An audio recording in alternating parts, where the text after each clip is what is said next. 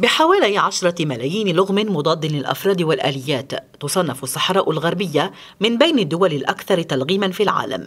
جريمة حصدت أزيد من خمسة آلاف ضحية رغم محاولات تطهير الأراضي المحتلة من المتفجرات. هو ما أكده المشاركون في لقاء نظم إحياء لليوم العالمي للتوعية بخطر الألغام. الصحراويين على هذه الطريق ما زالوا يعني يسيرون.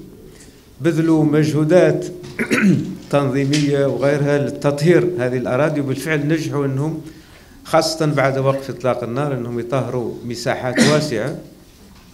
ولكن بخروج النظام المغربي عن خطة السلام وانتهاكه لوقف إطلاق النار اتفاقياتها عادت الحرب ورجع أيضا تلوث هذه المناطق بالألغام وبالتالي ضرب في الصفر كل المجهودات اللي تم القيام بها. بل هذه المرة زادها طائرات المسيرة واستعمالها واستهداف المدنيين. لا تزال الألغام الأرضية تحصد أرواح المدنيين خاصة على طول الجدار الرملي الفاصل بين الأراضي المحررة والأراضي المحتلة. في ظل مواصلة المحتل المغربي رفضه التوقيع على الاتفاقية الدولية لنزع الألغام والقنابل العنقودية ضاربا بالأعراف الدولية عرض الحائط.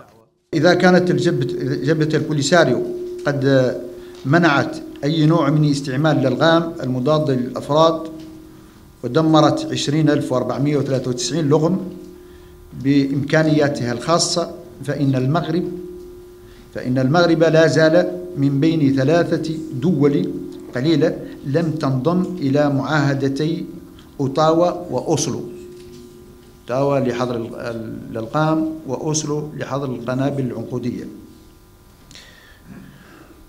ويتمادى المغرب في الرفض والطعن في القوانين الدولية وخاصة اتفاقية ذوي الاحتياجات الخاصة. خسائر بشرية وأضرار بيئية وجريمة بحق الأرض والإنسان تخلفها الألغام المزروعة في الصحراء الغربية.